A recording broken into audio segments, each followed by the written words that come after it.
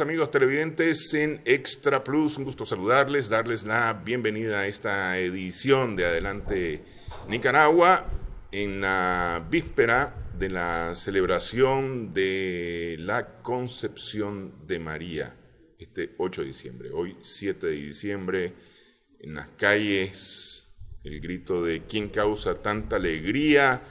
Y la respuesta a la concepción de María es lo que más vamos a escuchar. Para ello conversamos hoy con el padre Buenos Carballo. Muchas gracias por estar con nosotros. Padre, para poder hablar de la, de la Purísima, y, eh, no sé si empezamos hablando de la historia o empezamos hablando de cómo va a ser la Purísima este 7 de diciembre eh, o, la, o, la, gritería, porque bueno, termina el novenario este 7. Ah, así es, ah, así es. Sí. Eh, mira, yo diría, primero gracias por invitarnos al programa siempre eh, agradecerte que también abordes estos temas porque son una oportunidad para que esa tradición que se ha venido transmitiendo de generación en generación en Nicaragua, a mí me gusta decir que el amor a la Purísima eh, lo llevamos en el ADN del nicaragüense, y sobre todo del nicaragüense católico, por supuesto, ¿verdad? Eh, pero yo creo que es, es, en general este, este amor, esta devoción, en todas sus manifestaciones. Eh, creo que habría que distinguir entre la, el acontecimiento de fe y todas las expresiones culturales, artísticas, tradicionales que se dan en torno a la devoción a la Virgen. Eh, a mí me gusta insistir que la fe cristiana y la fe católica en particular eh, se vive de una manera encarnada, ¿verdad? Es decir, la fe cristiana, y esto es esencial, la fe cristiana es una fe eh, eh, que tiene como, como núcleo central el misterio de la encarnación. Es decir, que Jesucristo, el Hijo de Dios, la segunda persona de la Santísima Trinidad, el verbo, la palabra, se hizo carne, es decir, entró en la historia, se hizo ser humano. Y eh, esa realidad cambia o, o le da una nueva dimensión al, acontecimiento religioso, porque sí creemos en un Dios poderoso, trascendente, pero un Dios que entró a la historia, que se encarnó, eh, y ahí, el, por así decirlo, el puente eh, eh, donde, donde el verbo se hace carne es la Virgen María. Entonces ella juega un papel importante en la fe cristiana y por eso eh, el hecho de que nosotros la celebremos, particularmente en Nicaragua, con una expresión tan rica en sus tradiciones artísticas, culturales, etcétera, en todos sus elementos, creo que refleja también en el fondo esta, esta realidad. Es decir, no creemos solo en una idea religioso-espiritual, no, creemos en un acontecimiento histórico, ¿no? Entonces, eh, ¿qué está de fondo? ¿Cuál es diríamos, la razón teológica de fondo de esta celebración, que, eh, cuál es el corazón de lo que creemos como cristianos y como cristianos católicos en particular. Eh, a mí me gusta recordar una frase del apóstol Pablo en la carta a los Efesios, que lo leemos precisamente en uno de los días de la novena, que dice que Dios nos, eh, nos ha bendecido en la persona de Cristo y nos ha elegido para que seamos santos e irreprochables ante Él por el amor. Ese es el proyecto de Dios, ¿verdad? Eso es lo que Dios ha querido para la humanidad, para el ser humano. Eso es lo que nos relata la Biblia. Eh, ese es el, lo que el Génesis habla del paraíso.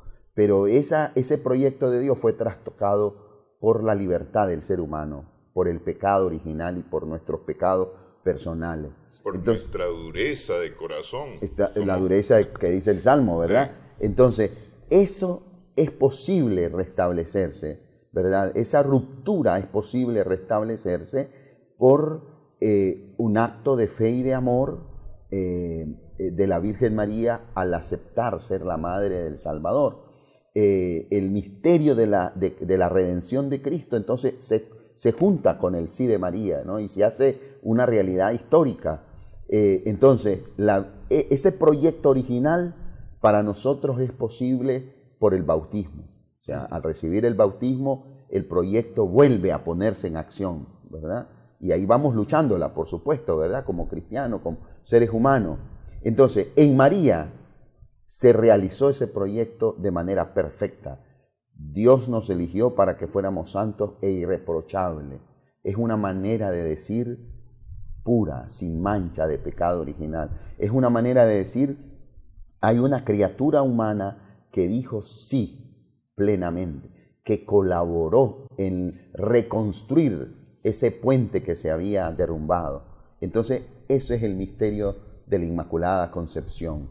Y eso es lo que celebramos, por eso le llamamos la Purísima, porque es el superlativo de pura, sin mancha. es, el, es, es la expresión máxima de una criatura diciéndole sí a Dios y colaborando plenamente con Dios, porque María no fue un instrumento pasivo, dice también la novena, en las manos de Dios, sino que con su libertad, con su fe, colaboró activamente en el proyecto de Dios. Entonces, ese es el corazón, ese es el alma de las festividades de la devoción mariana y en particular de las celebraciones de la Purísima, que en Nicaragua tienen toda una historia. Y, que, quiero que entremos en la historia en un, momentito. Este, a ver, eh, eh, lo cierto es que la devoción mariana tiene varias expresiones a lo largo del año. Eh, en, esta específica estamos celebrando la concepción, es decir, la creación de María, inmaculada, pura, que es proyecto de Dios, porque todo está pensado, es decir, esto no es, no es azar, vamos a buscar a ver ahí a quién encontramos, no, esto está planificado, eso es lo que estamos celebrando, que esto, que esto Dios lo pensó desde, antes, cómo iba a ser todo. Dice la oración inicial de la novena a la Purísima que la Virgen María fue elegida por Dios, eh, dice, en el primer instante de su ser natural. Es decir, la Inmaculada Concepción refiere al momento en el que empezó a existir la Virgen María. En el momento en el que el óvulo de su mamá Santana y el espermatozoide de su papá Joaquín se juntaron, en ese momento, en el primer instante de su ser natural, lo dice la, la novena, Dios la creó, Dios le dio un alma limpia, pura, sin mancha. ¿Por qué a ella? En previsión de su maternidad divina porque Dios la creó precisamente para ser la madre del Salvador. Y, otra vez la novena, cada día de la novena es una enseñanza. Hay un día de la novena que dice que, por ejemplo, nosotros como católicos tenemos eh, como sacramento central la Eucaristía y recibimos en la Eucaristía el cuerpo del Señor, del Señor Jesús.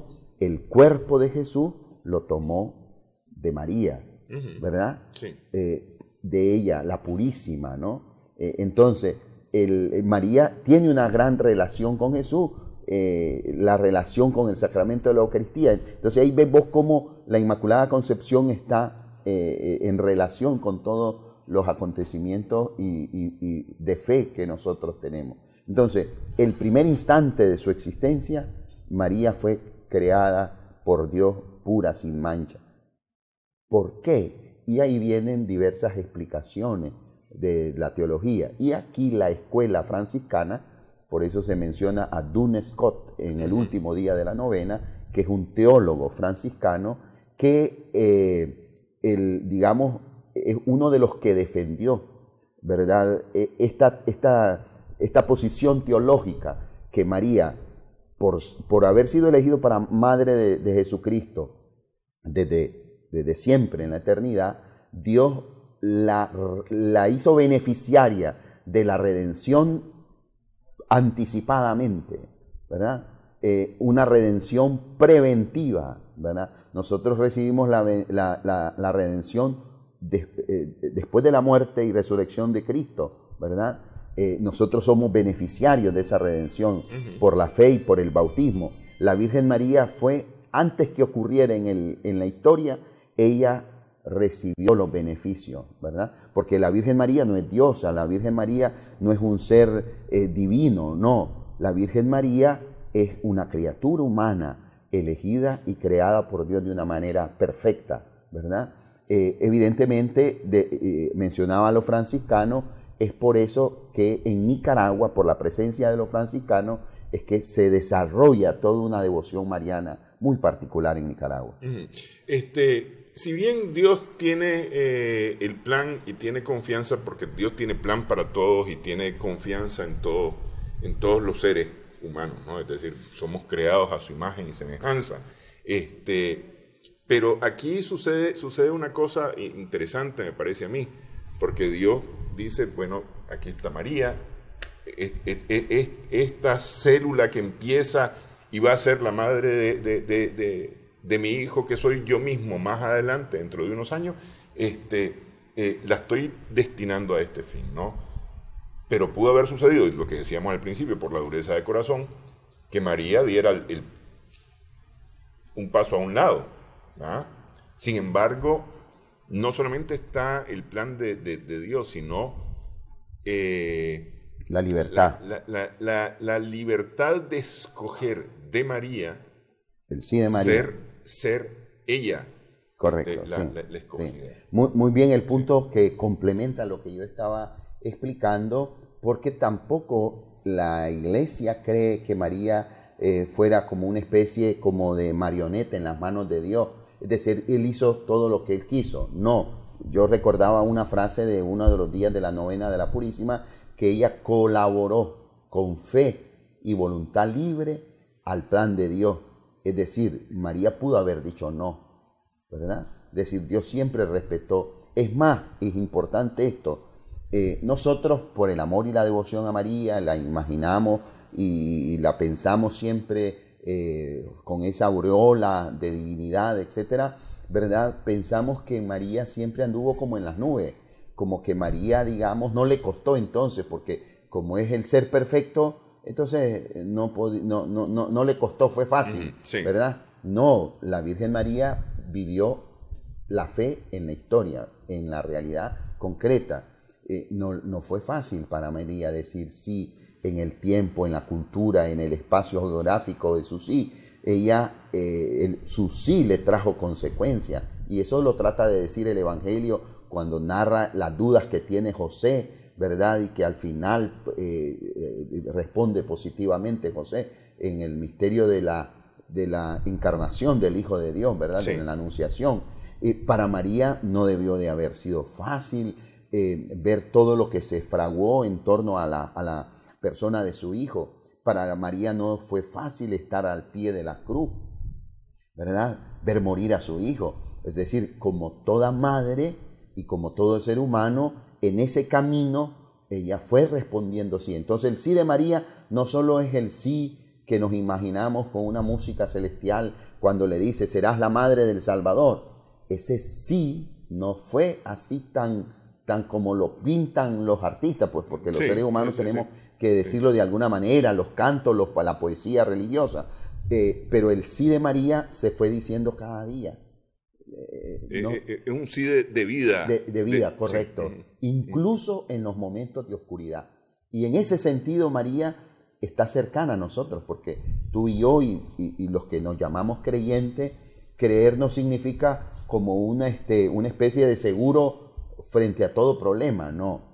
La fe también tiene sus momentos oscuros, ¿no? Los místicos, muchos hablan de las noches oscuras, en donde el alma uno tiene que forzar, ¿verdad? Tantas cosas que vemos que suceden en nuestro entorno, en nuestra realidad histórica, en el mundo, eh, en nuestra vida familiar o personal, y no, no es fácil siempre creer en Dios.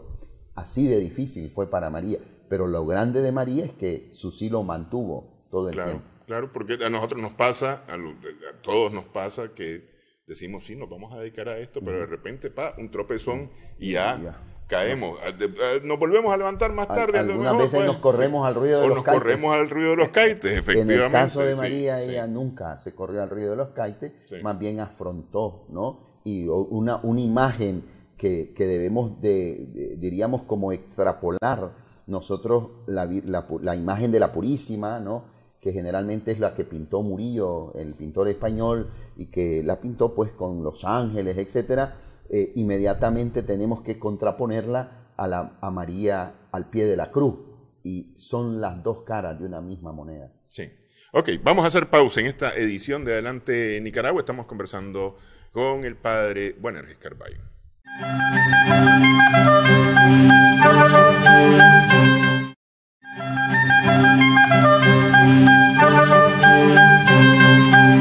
Seguimos en adelante en Nicaragua en Extra Plus. Estamos conversando con el padre Bonaeres Carballo.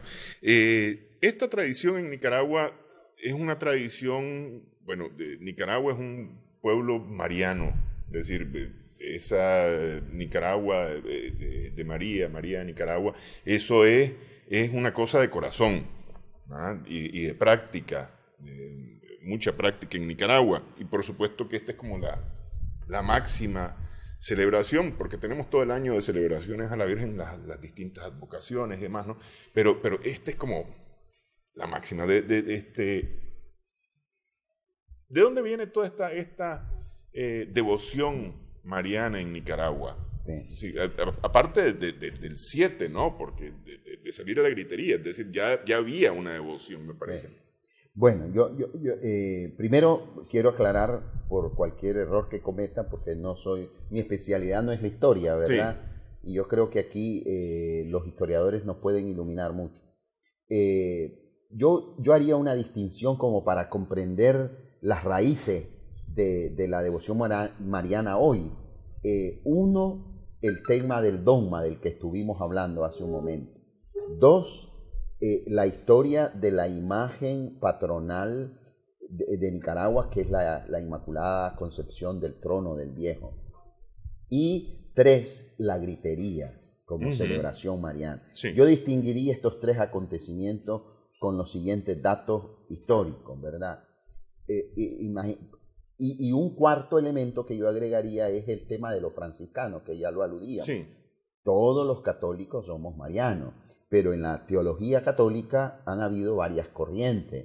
La corriente, diríamos, que se eh, impuso por sus argumentos en el proceso de formulación del dogma es la corriente franciscana. Y nosotros, la primera etapa de la evangelización en Nicaragua eh, fue llevada adelante eh, particularmente por los misioneros franciscanos. También vinieron otras órdenes religiosos, entre ellos los mercedarios, eh, los dominicos en algún momento también, ¿verdad? Eh, eh, es decir, varias, varias iniciativas de órdenes religiosas misioneras. Pero los franciscanos estuvieron muy, tuvieron mucha presencia en Granada, en León, que eran los centros civiles y religiosos importantes de la época de la colonia, ¿no? Entonces, la presencia de los franciscanos explica la devoción mariana en, Nicaragua.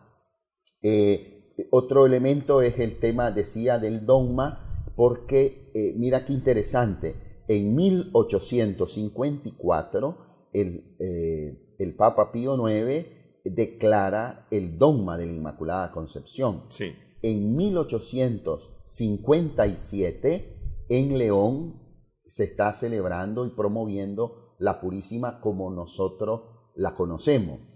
Entonces, esto quiere decir que, eh, acuérdate que eran tiempos difíciles de la comunicación, eh, las cosas se conocían años después, quiere decir que hay una, digamos, hay, algo que favoreció que el dogma fuera asumido rápidamente. Ya había una devoción mariana por la presencia franciscana en León, ¿verdad? De hecho, de hecho hay eh, información histórica que eh, más o menos unos 10, 12 años antes de la declaración del dogma, ya en la iglesia de San Francisco en León hay iniciativas de celebración de este tipo de, de, la, de la, gritería. ¿no? En 1857 se ubica el tema del grito eh, de Monseñor eh, Giordano Carranza, ¿verdad? Tal como ahora lo celebramos el 7 de diciembre a las 6 de la tarde. Entonces, ves cómo el dogma y la presencia franciscana favoreció eso. Por otro lado, también hay que distinguir la imagen patronal. La purísima que, que nosotros ponemos en nuestros altares, decíamos, está relacionada con eh, la pintura de la Inmaculada Concepción de Murillo. Sí, Esa es como la tradicional. Que, que, además tiene su origen por el Apocalipsis y demás. Correcto. Mm. Sí. Y el, el, el tema de la imagen patronal, porque cuando nosotros hablamos ¿Quién es la patrona de Nicaragua? La Inmaculada Concepción. Pero hay una imagen en concreto y es la imagen que se tiene en el Santuario Nacional del Viejo. Y que esa imagen, según los historiadores, la trajo un hermano de Santa Teresa de Jesús, fundadora de la Orden de los Carmelitas, y que por problemas de que no podía continuar su viaje por, por una tormenta en el Pacífico, entonces al final quedó la imagen ahí en el viejo. Pues. Son esas cosas históricas, pero providenciales. Y eso ocurrió todavía, eh, estamos, algunos lo ubican en, en 1500 62 por ahí, ¿verdad? Mucho, mucho antes de, la proclamación del dogma. Muchísimo antes, ¿verdad? Y, esta es la imagen patronal de Nicaragua, ¿no? Eh, y decíamos entonces, la historia del dogma y su relación con los franciscanos y su presencia en Nicaragua, la historia de la imagen patronal y la historia de la gritería como señor Giordano Carranza, tres años después de la declaración del dogma en la iglesia de eh, San Felipe, en León, ¿verdad? El, novenario empieza después de la declaración del dogma. Sí, eso digamos, la, ya la novena tal cual es mucho, un poco más adelante, y como podemos ver, cuando uno lee la novena, tiene un español un poco rebuscado en aquello, canción, y empiezan, a, son expresiones poéticas, eh, y también tiene la riqueza que después se fue mejorando en la consideración que es la catequesis, el texto bíblico del día y la catequesis. Eh, y yo creo que esa es una riqueza que todavía no terminamos de sacarle el máximo de provecho. Ahora, en torno a estos acontecimientos teológicos, religiosos, se ha generado todo un proceso de expresiones, eh, los cantos, bellísimos cantos, poesía, los altares, eh, el arte culinario que genera estos días de, la, de las festividades, los arreglos, y, todo este ambiente festivo que provoca eh, la Purísima, eso también, eh, digamos, es una riqueza cultural que ahí yo me remitiría a los especialistas, pero no olvidando que ese ropaje cultural tiene una esencia, que es el amor y la devoción a María en todo esto que hemos estado hablando. Es que, es que realmente es una fiesta, es decir, eh, es motivo de alegría, motivo de festejo este, el, el, 8 de diciembre, pues, decir, salir la víspera, el 7, ¿no? Claro, claro, sí. Eh, eh, y, y, ahí yo conectaría con, eh, con las orientaciones pastorales que dio el cardenal, porque bueno, no podemos desconocer que estamos en una coyuntura política muy sui generis, muy particular, para decirlo con palabras un poco pues sosegadas, ¿verdad? Pero todos lo sabemos, no necesito explicar en detalle. Entonces, en esta circunstancia algunos se preguntaron, eh, eh, no, hay, no podemos celebrar la Purísima, no podemos tirar pólvora, no podemos cantarle, no podemos gritar quién causa tanta alegría. Entonces ahí el cardenal, sabiamente como pastor de esta eh, iglesia que peregrina en Managua particularmente, pero también con el peso que tiene para nivel nacional, conferencia ¿verdad? como presidente de la conferencia episcopal, él sacó unas orientaciones para la arquidiócesis donde nos decía que eh, en medio de esta situación nosotros tenemos que celebrar la Purísima, recordando la esencia de la Purísima. ¿Qué es la esencia de la Purísima?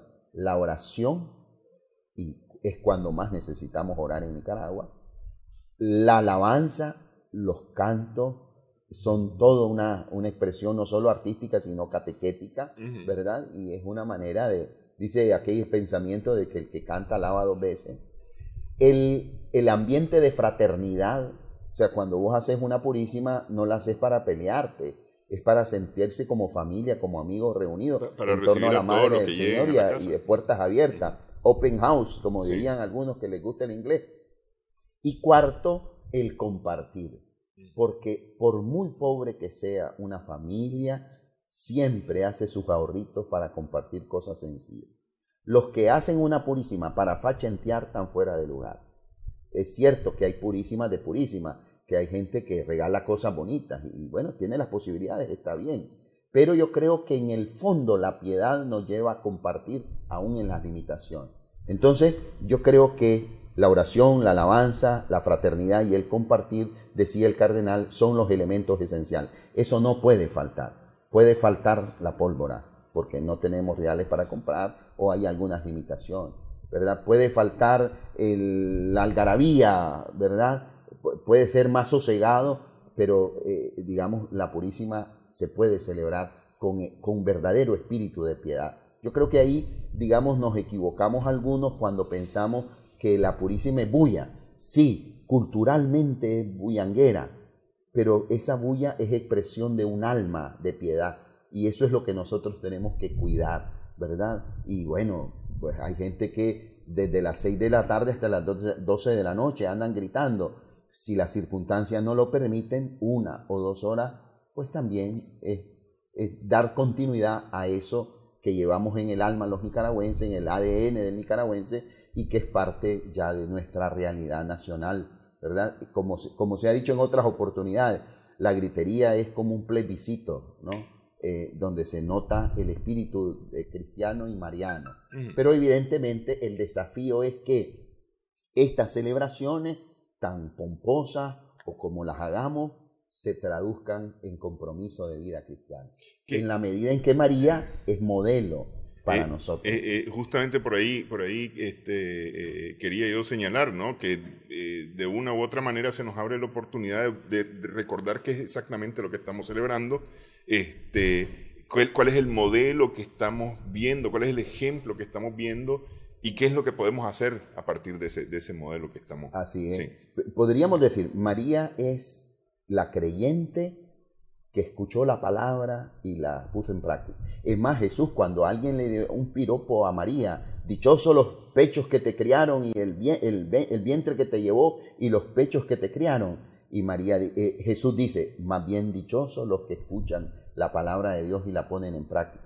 La grandeza de María no es simplemente ser la mamá que crió a Jesús, es que escuchó la palabra y lo hizo vida. Hoy los nicaragüenses necesitamos escuchar la palabra de Jesucristo, ¿verdad? Y actuar en consecuencia como actúa el Maestro. Y dos, hoy más que nunca, María, aquella que salió corriendo cuando le dijeron que su prima, una anciana, estaba embarazada, ese espíritu de servicio, ese espíritu de, de disponibilidad, lo necesitamos también en Nicaragua. Y por supuesto que María es modelo del que se mantiene firme en la fe hasta en la noche oscura de la cruz. Hoy Nicaragua necesita hombres y mujeres con esa calidad de fe. Bueno, quiero agradecerle que haya estado con nosotros, padre. Sabemos que, está tareado. Con, sí. Este, pero quiero agradecerle que nos haya hecho un tiempito este, para poder conversar en esta, en esta parte del programa. Muchas gracias por invitarme y como decía el cardenal en su, en su comunicado, en su mensaje sobre este tema, María es la causa de nuestra alegre esperanza. Así que por eso podemos decir, ¿quién causa tanta alegría? La concepción de María. La concepción de María. María de Nicaragua. Nicaragua, de, María. Muchas gracias, Padre. Hacemos pausa y hablamos justamente de las tradiciones este, con Wilmore López al regresar.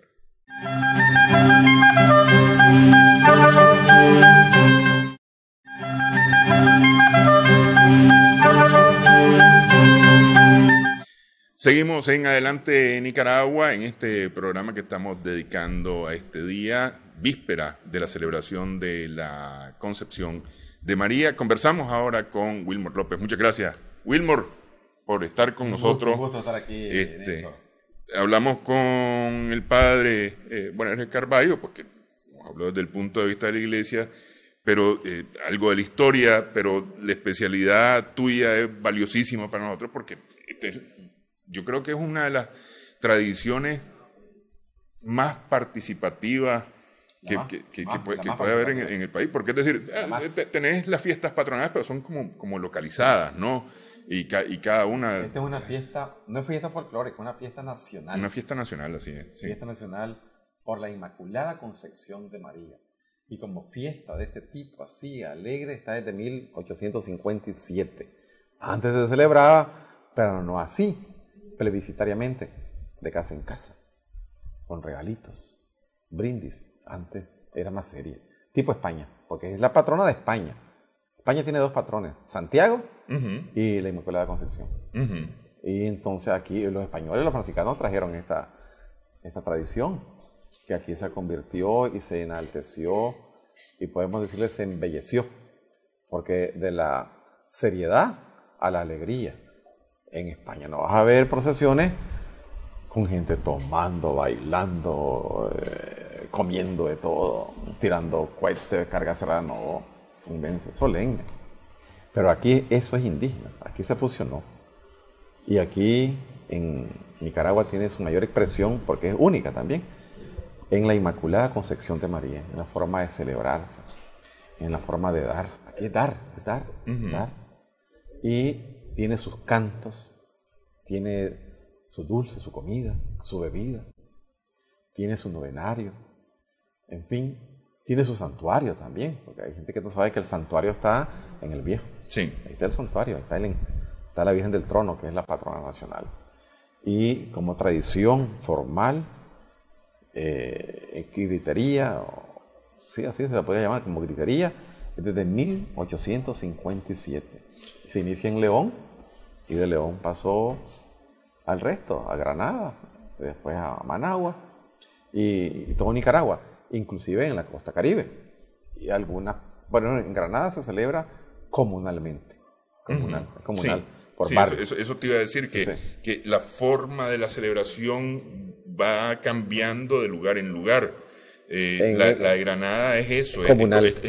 cada barrio de Granada celebra. En el novenario, cada barrio celebra uno, y entonces llega la Virgen, la imagen, que es la conchita, que sale con el niño. Porque han habido varias conchitas. Ahí está la conchita con el niño. Y está un día en vela. Al, rato y en la noche la llevan a, la, iglesia. Al día siguiente le toca a otro barrio. Y así hasta llega el 7. Sí. Igual, eh, lo que pasa es que el 7 es una gran procesión. Una gran procesión. Pero no hay, no está la costumbre, pues, leonesa, que es el, brindis, la gorra. La gorra, sí. Esa palabra gorra, fíjate que está hasta en el huehuense. En el huehuense, al final, el huehuense llama, bueno, a la gorra, muchachos, dice, a la fiesta, al, digamos, a la, al brindis, a la tomadera. Sí. Entonces, esa palabra está en el huehuense, la gorra, una palabra muy popular en Nicaragua.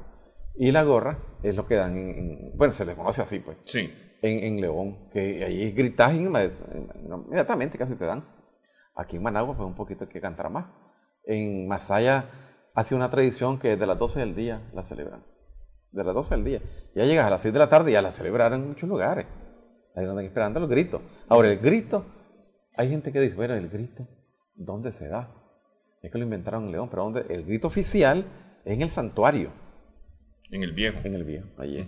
El padre Urbina, pues no sé si obispo, Rodrigo Urbina, un ponderado sacerdote, muy buena persona, es el que hace el grito a las 6 de la tarde, el 7 de diciembre. Que, como te digo, como lo dijiste, es la vigilia, porque el día es el 8. El 8 de diciembre, sí. El 8 que se prolonga también. En el viejo sale la procesión. Y mantienen ese día una tradición de poner candelitas encendidas en las aceras de las casas. En el viejo. En el viejo. Ajá. Ahí está una diferencia. Sí. En León, ese día, el 8, pues, este 8, existe, creo que es el 23 o, 53, concurso de gigantona. Este año, claro, sí, el 8 de diciembre, sí que, ya es como a las 5 de la tarde, 6 de la tarde, sido normalmente. De las 5 de la tarde en adelante, se inscribe el gigantonero con el nombre de la gigantona, lleva sus pajes, sus faroles, y el recitador, que es el coplero. Sí. Y bueno, ahí participan, tienen sus premios. Claro, y ahí tiene que ver la copla, tiene que ver eh, eh, eh, los tambores, tiene que ver el, vestuario de la, de, la, gigantona. Y explicar un poco. Y de su acompañante, el enano cabezón. Así es, todo eso. Todo eso es, bonito. Su tiaba tiene bastante tradición. Y entonces todo esto es parte de una fiesta nacional. Es nuestra mayor fiesta nacional. La otra es la del Niño Dios porque esta se celebra en todo Nicaragua, el Niño Dios también. Sí. Bueno, en los hogares católicos. Los hogares católicos. Y entonces el Niño Dios, ¿qué tiene de más? ¿Cuál es lo nuevo allí? Que de España vinieron las posadas. No, las pastorelas. Pero aquí, sí, aquí en América se crearon las posadas. Entonces tiene eso también. México, por ejemplo, es una, una exaltación con, las posadas y las, las pastorelas. Y aquí en Nicaragua va a haber en este... El 13 creo este que inicia, ¿no? Sí, un encuentro de pastorela. ¿Ah, sí? Sí, Ajá. pastorela. Y se van a hacer las pastorelas. Aquí hay muchas pastorelas bonitas. Sí, sí, sí. sí muy tradicionales. Entonces van a hacer un encuentro de pastorela y están, creo que se van a hacer en el, en la plaza, frente a, frente a detrás de, del palacio, en la plaza 22 de, agosto. Ah, ok. Ajá, ajá. Y eh, esto es parte de la tradición. Ahora, si te pones a pensar en las comidas, muchas se derivan del maíz. El maíz es nuestra raíz. eso, eso, eso, porque me decís que esto es una fusión, la celebración en 1857 es una fusión con nuestra identidad eh, originaria con nuestra identidad indígena. Así es, un sincretismo ahí. Un, sincretismo. Hay una mezcla. Este, y en esa mezcla, en el sincretismo, pues eh, se mantiene la tradición, pero la religión católica está encima. ¿Y qué, había, el fondo qué, había eh, antes de la Purísima que, de lo cual se apropió? Las celebraciones indígenas son agitadas, intensas y entonces habían permiso de parte de las esposas para sus esposos, los aborígenes, de que tomaran licor. Y en esa tomada ellos caían dormidos y se comunicaban con su Dios. Eran un poco de dioses. El Dios del agua, el Dios de la lluvia, el Dios de la guerra, el Dios de las cosechas. Eh, eh, entonces esto era, era politeísta. Y después los españoles miraron eso raro, los sacerdotes dijeron, ¿qué es esto? Aquí hay monoteísta. Entonces hicieron un solo Dios. Y entonces esas eran las celebraciones. ¿Y usted dónde ve esa, esa actitud? En Santo Domingo, por ejemplo. Claro, sí. En León lo ves también, para San Jerónimo. Pero, pero en estas celebraciones se salía a las calles y se iba de, casa en casa. No, no, no, no. Se iba a una plaza. Ajá. Ahí se bailaba, ahí se hacía el ritual, ahí se bebía, ahí se cantaba, se danzaba. Eso es lo que hay actualmente. Si usted ve en Santo Domingo, inventaron el, baile de la vaca. Sí, sí. Si, si ves allá en Masaya, bueno, ahí abundan. Si vas en León, vas a ver el baile del toro para San Jerónimo. Ajá. Un baile del toro se ve que es una red descarnada, indígena. porque lo, de la gigantona, hay ahí una bastante, bastante cuota española. Ahí. Sí, sí, porque la gigantona es un español en principio. Eh, sí, ah, sí. sí, vino de Barcelona, del lado de Cataluña. Ahí vino la gigantona. Es mentira que diga que es una burla la dama española, nada de eso. Porque allá en España no es así. Pero, pero es decir, la representación de la gigantona en Nicaragua es la, señora española, ¿no? Así es. Ese es el cambio que ha habido. Porque en España son, se llaman gigantes cabezudos. A los enanos le dicen cabezudos. Y los gigantes pues son los grandes. Entonces, y son representaciones de reyes y reinas. ¿Y no tienen coplas o sí? No, no tienen coplas. Las coplas son nuestras. No, sí, son, son nuestras. Y la música es hasta clásica. Aquí usted sabe que viene la percusión. Así es. Y como, como también miras la percusión, lo oí y puedes bailarlo porque eh, te llama pues a, a meterte en, el, en, el, en la actividad. Este, los son popos. Ajá. Los son popos en, en, Umetepe. que es San Diego de Alcalá. El 13, el 17 de noviembre, eso es tremendo. Entonces, todas estas manifestaciones tienen cuota indígena. Y española, española, por ejemplo, son vendería. Yo te diría que la más brillante, majestuosa, es la Virgen de Mercedes el 24 en León. El 24 de septiembre. Sí, sí, sí, has visto esa, sí. como que estás en España. Sí, sí, una sí, solemnidad es una solemnidad tremenda. Enorme. Este, tal vez, tal vez a esa en León le seguiría la de la de San Benito, la de la madrugada. San Benito de Palermo, ese es el lunes santo. El lunes santo, el lunes sí. santo, ahí que es la de los varones que están, van vestidos de blanco. Sí, todos, se llaman vestidos de luz. Sí, sí. Vestidos de luz. Varones y mujeres es una forma de pagar promesa. Van vestidos de luz y dan una chicha negrita y el pan de San Benito. Sí. Es una tradición también. Y, la chicha, o sabes, del maíz. Claro. Y es una tradición, ya tiene muchos años. El padre, dice el padre? Creo que era, no recuerdo el nombre del padre. A mí me lo presentó Edgardo Buitrago, que es uno de los más estudiosos de la obra religiosa que hay. Leoné, historiador. sí. Este, tuve oportunidad alguna vez de, escucharlo, de sentarme a escucharlo. sí, eh, y entonces, ¿qué te puedo decir más? Que esta es una de las tradiciones únicas. La, la Iglesia Católica celebra el dogma. Y ahí uno puede... ¿Cuál es el dogma? Pues que la Virgen es pura. Y eso no se discute. No hay discusión. El Papa Pío IX, en 1854, cuando estaba la guerra nacional aquí. Entonces aquí no se celebró la Purísima, ni el 54, ni el 55, ni el 56. Sí, justamente eso conversamos con el padre eh, Carballo hoy. Pues en el 57, 1857, que se revive ya como gritería. Claro, hay que tomar también en cuenta que la correspondencia tampoco viajaba tan, tan rápido y las noticias no viajaban tan rápido. Fíjate que la Purísima Concepción de María, porque se le dice así, se celebraba en el castillo de la Inmaculada Concepción. Y antes todo se llamaba así Inmaculada Concepción muchos nombres venían ya desde España. La religión católica lo había orientado, pues. Todos tienen nombre de Inmaculada Concepción, si te fijas. Por ejemplo, el convento de San Francisco de la Inmaculada Concepción en Granada. Sí. Así se llama. Este, y el castillo de la Inmaculada Concepción. Y ahí se celebraba. Ahora, ahí trajeron varias imágenes cuando los ingleses, porque los ingleses se toman el castillo. Rafael Herrera defendió, resistió, pero no, se, se toman el castillo. Y ahí salvaron las imágenes, habían varias imágenes. Y las trajeron para, la Asunción, para Granada y para Chontales. La de Chontales también estaba en, Castillo. Sí, y la, y, la, más famosa es la Conchito. y, como te digo, en el transcurso del tiempo, inclusive hasta ha cambiado de color la túnica y el manto de la Virgen. En un tiempo fue rosado, en otro tiempo rojo. En Semana Santa, vos sabés que la Virgen pasa negro por el duelo. Sí, sí. Y el que ha quedado es el azul y blanco, que es la pureza y la eternidad. Eso significa el azul de la eternidad y el blanco de la pureza. De la pureza. Ok, vamos a hacer pausa en esta edición de Adelante Nicaragua. Estamos conversando con Wilmor López.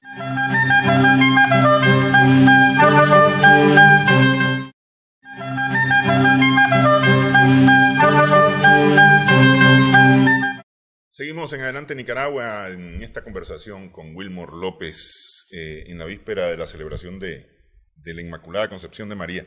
Eh, hay una serie de, cantos que no son ni vaticanos ni españoles, están inspirados en algunos versos, en algunas oraciones, pero... ¿Usted se refiere a, los nicaragüenses? la mayoría son nicaragüenses, a ver, o hay muchos nicaragüenses. Hay, muchos cantos nicaragüenses, tanto dedicados a la Virgen María como al Niño Dios, antes de nacer y después de nacer. Sí. En el caso de la, los cantos nicaragüenses, quien se le debe mucho es a la familia Vega Matos, a la familia Ramírez, que eran músicos, músicos, maestros de música. Pero la letra no es de ellos. Hay gente que puede pensar que Alejandro Vega Mato hizo Tu Gloria, Tu Gloria. La música la hizo, pero no era poeta. La poeta, la que ponía la letra, era su tía, Cándida Rosa Matos. Y ella le ponía el texto, a la música que oía, o al revés. Hacía un poema y su sobrino, Alejandro Vega Mato, le ponía música. Eh, hacía el arreglo Y ahí está, por ejemplo, eh, Por eso el cristianismo. Sí. Es un son. Tu gloria, tu gloria. Es otro. También tenemos un canto preciosísimo. Se llama Sale de Azucena Divina. Entonces, todas esas letras son de Cándida Rosa Matos. También hay otra. Por ejemplo, de España vino Toda Hermosa. Toda Hermosa. Yo le he oído aquí en, España, en Nicaragua y en Perú. Eh, el alabado también. Pero hay otras que no y son bellísimas. Por ejemplo, todas las canciones que se cantan en el viejo, usted sabe que en el viejo está la Virgen de Atos y está la patrón, ahí hay canciones originales y se debe a la familia Blanco. La familia Blanco, ahí estaba Julio Más Blanco, del viejo. Eh, estaban también canciones para la, para la Virgen de Mazatepe, hay canciones. Y estas pocos se dan a conocer. Habían también una que se dieron a conocer en un tiempo cuando don Salvador Cardenal tenía la radio... Huehuense. No, antes. Creo que era la Centauro. ajá, ok. Sí, sí. Y él tenía un estudio. Y ahí llevó a unas viejecitas, ahora viejecitas, pues, porque todavía conocía una en León que, es la que dice, ¿quién causa tanta alegría? Es de León. Ahí tenía un coro, coro, coro de Elia Orozco. Y Julio Más Blanco tenía que ver en eso. Y logró grabar canciones también de la Purísima. Que, son todas las que hemos conocido nosotros con esas voces bien agudas, elevadas. Sí, porque Vega Matos no logró grabar. El que graba es su hijo Ramiro Vega. Ramiro Vega es el que además tenía una orquesta. Ramiro Vega Miranda creo que era el apellido del otro, y es el que le sigue los pasos a, su padre, Alejandro Gamato. Y esos, cantos hoy son, son nuestros y, nos identifican. El mismo grito, fíjate. Este grito, vos lo pegas, le decís en París, ¿quién causa tanta alegría? Y si alguien te contesta es nicaragüense. Es un grito de, identidad. Sí, porque yo te voy a decir, yo estuve un 8 de diciembre en Valencia en, no, recuerdo si habrá sido catedral o era solamente una iglesia dedicada a, la concepción de María, y ahí como que era cualquier día. Ah, sí. Sí, como que el era propio el propio 8 de diciembre, y como que era cualquier día. Mm. Sí. Es decir, ¿cuándo aquí un 8 de diciembre? Ah, no. ¿Eh? no, y aquí la única forma, hace tiempo, hace como cuatro años, o un intento, era un intento, era una consulta que hizo el Instituto Nicaragüense de Cultura debe buscar la candidatura que vale, pues, para que la UNESCO declarara patrimonio oral intangible, la purísima, la gritería. Sí. No, no, no la imagen, sino que la gritería. Sí, la gritería. Y entonces ahí se miró esto, que trasciende. Solo en Nicaragua se celebra de esta manera. Ni en España, ni en América del Sur, ni, ni, en México. En, México es la Guadalupe. Es la Guadalupe, Sí, la peregrinación a, la basílica, sí. Aquí tenemos peregrinaciones también. Acuérdate, en la, lavada de la Plata. Es una, correcto. Sí, iban al trono. El 7 temprano, el 6. El 6, el 6, el 6. El 5 hay una serenata que yo le, quería, una vez estaba sugiriéndole, serenata a las 6 de la tarde, 7 de la Es una serenata, un concierto. Serenata es la mañanita. A las 5. Que se mantenía, sí. pero después se cambió. Una diana. Sí, sí, se cambió. Ahora lo que hacen pues un concierto a la Virgen, el 5. El 6 es la romería, la lavada de la plata, que viene, hay gente que viene de El Salvador y Honduras y Costa Rica. Y el 7 es la víspera, es la gritería. El 8 el día de la Inmaculada Concepción, que ese es un día que se celebra en todo el país. Alguna gente promesante, yo recuerdo, Gomito, Roger Gómez, Ricardo Montalbán en San Juan, hacían la Purísima hasta en enero una promesa de Roger Gómez. Pues, en enero. Es, que, es, que, hay gente, hay gente que hace, que hace este, después del 8 de diciembre. Sí, sí, sí, porque o sea, quieren ser más íntimo y se lucen. Me acuerdo de los grandes regalos que daba Roger Gómez. Ya después dejó de celebrarla, no sé qué pasó. Qué barbaridad. Pero, vamos a reclamarle a Roger Gómez, sí. Pero es una tradición. Hay gente que del extranjero vienen, y especialmente, mira Néstor, te invita a la Purísima. Yo conocí a un granadino que la celebraba como león en Granada, porque también en Granada no es que sean pinches, es la tradición. Ahí no dan nada.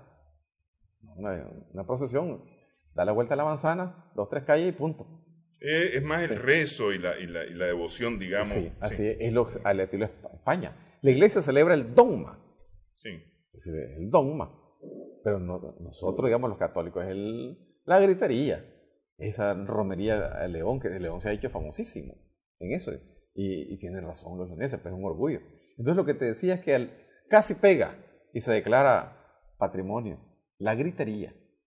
Pero fue una lástima. Después hubo un problema con la iglesia, opiniones de la iglesia y, ya se enredó la cosa. Sí, Pero es un patrimonio, prácticamente la gritería aquí en Nicaragua, patrimonio oral intangible. Nosotros tenemos cuatro patrimonios, dos intangibles y dos tangibles. León Viejo, la ruina histórica, es tangible, patrimonio histórico mundial y la Catedral de León. Y el intangible es la, el huehuense, sí. y la cultura garífuna.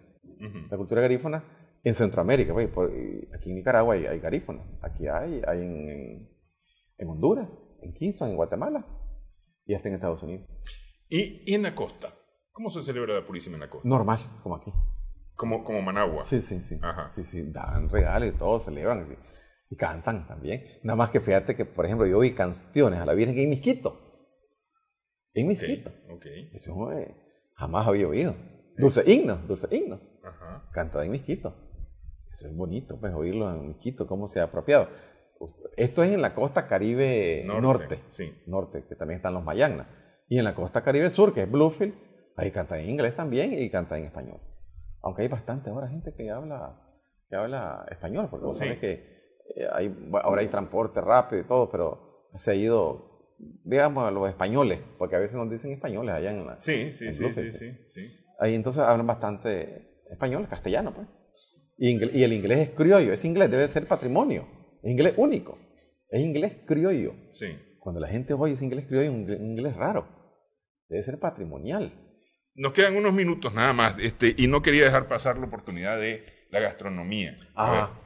Interesante. Es decir, tenés lo, dulce, Interesantísimo. los almíbares, es decir, el, ayote en miel, por ejemplo. Fíjate que se deriva mucho del maíz.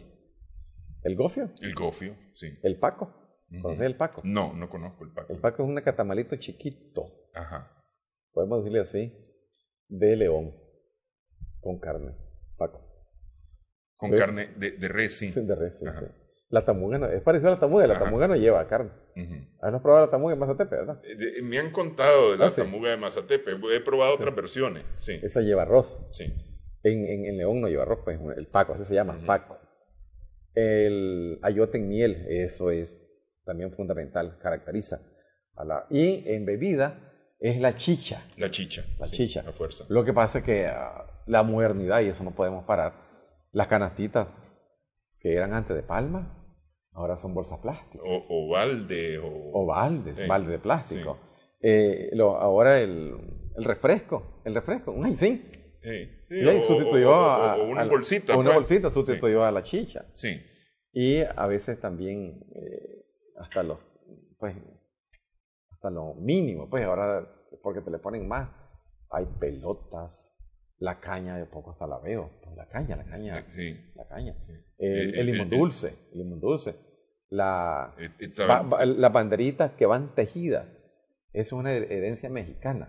Los mexicanos para el Día de los Muertos hacen una serie de festividad, porque lo celebran. Es Patrimonio Mundial el Día de los Muertos allá en, México. En el 2003 fue declarado.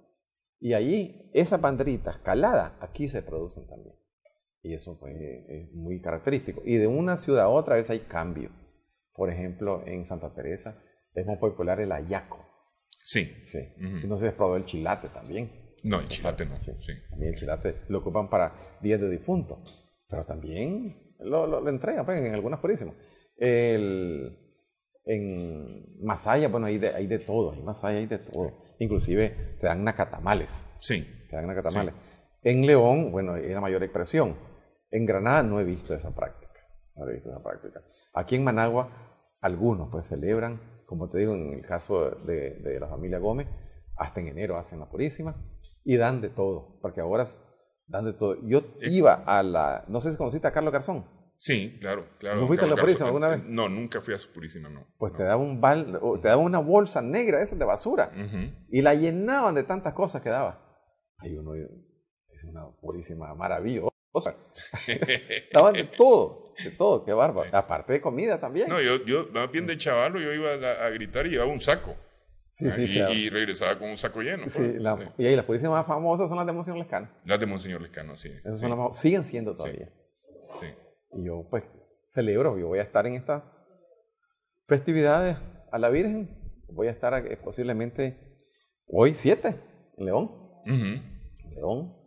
Y quiero ir a Sutiaba a ver una familia ahí, las familias rojas, que siempre celebran y con gran pompa y dan tradición. Vos respirás la tradición ahí. Es que de León a mí lo que me llama la atención son los altares. La forma en que se. Ahí tenés que ver el telón. Sí, el telón. El telón. Eh, pero además este, eh, eh, la ornamentación alrededor de. Y ocupa muchas plantas. Sí. Y tiene siempre un tema. No es por ponerlo. Sí, sí, es, temático. Sí, de repente ponen el cerro negro. Sí. Y, y, y, las vírgenes, imágenes viejas, imágenes antiguas. Son barrocas. Sí. Imágenes, por ejemplo, que se tienen ojos de vidrio. Tienen cabello, natural, sí. Entonces, eso son imágenes barrocas solo en León. Sí. Yo conocí unas imágenes pequeñitas que le habían dado los franciscanos cuando celebraban.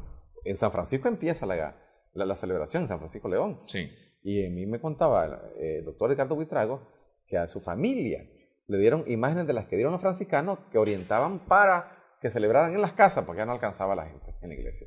Y así fue que después celebrando de casa en casa. Y él tenía unas imágenes pequeñitas que eran las que habían traído los, los, frailes franciscanos. Todo eso es, hay que verlo con mucha pasión y, yo lo veo así siempre, pues. no lo veo como diversión, porque hay gente que va a divertirse. Sí, e, esto es cultura. Por un lado, cultura por, por, el hecho de que es nicaragüense, pero es devoción por el otro lado también. Así es, Y hay que ir siempre eh, devotamente y no jugar mucho con la pólvora. Tengo, tengo miedo.